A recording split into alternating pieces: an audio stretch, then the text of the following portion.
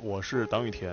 啊，来自于清华大学建筑学院。呃，毕业以后呢，我选择进入呃西安建筑科技大学建筑学院进行工作。那我在博士期间呢，也也参与了大量的呃乡村的实际的建设的项目。啊，这些项目呢，有两三万平米的建筑呢，也都在乡村已经建成了。呃，这个过程中呢，也我也逐渐寻找到了，呃，作为一个建筑的学者，呃，我的呃使命和责任，其实就是把我自己的所学的知识，能够呃贡献到这个国家这个呃老百姓的人居环境的改造之。中，我觉得这个过程呢是非常的幸运，呃，也非常的美好的一个过程，呃，因为我的博士研究方向是乡村建设，啊，所以呢，我也没有太多的这个纠结和顾虑，直接选择了回到陕西，能够在我研究的对象就是陕西的这片乡村里面，啊，西部的乡村里面，然后进行继续的研究呢，我觉得是一件非常幸运的事情。好，我是来自经济管理学院的二零一四级直播生赖长青，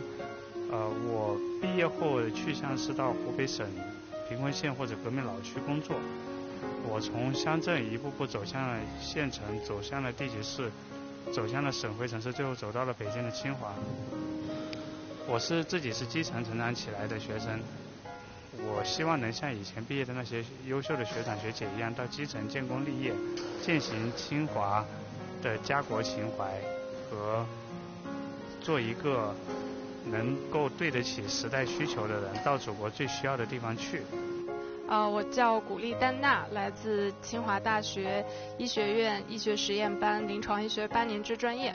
呃，我毕业之后呢，将去到。中国医学科学院肿瘤医院，嗯，作为一名临床大夫，我选择去肿瘤医院的原因呢，是因为我在海外有两年的科研时间，然后在这个期间是遇到了非常多的肿瘤患者、头颈鳞癌的患者，切身的感受到了他们的痛苦以及疾病对他们的折磨。那么在科研期间呢，也是意识到目前的肿瘤治疗确实是存在着非常大的困难与瓶颈。嗯，尽管现在有很多新的呃热点的这样的治疗方式，但是还是有一些很难以解决的问题，所以呃希望能够在自己将来的呃事业当中为肿瘤治疗贡献一份自己的力量。大家好，我是来自哥伦比亚共和国的大卫海纳，社科学院二年级的研究生，我的专业是 Chinese Politics and Foreign Policy。